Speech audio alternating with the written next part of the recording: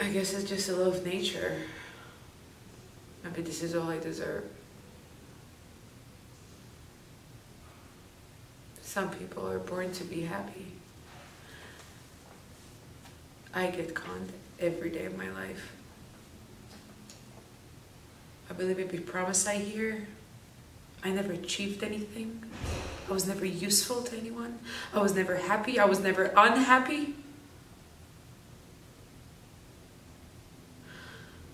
I guess in order to be unhappy, you have to lose something. I never had anything besides bad luck.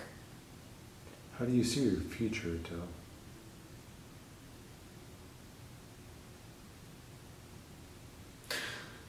I don't know.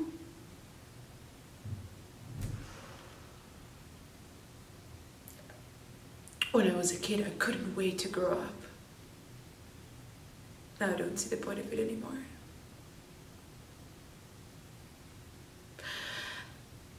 I see my future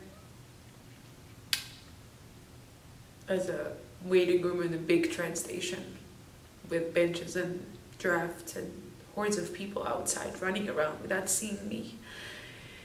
And I sit there waiting.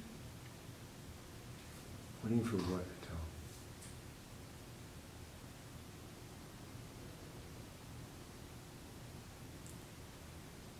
for something to happen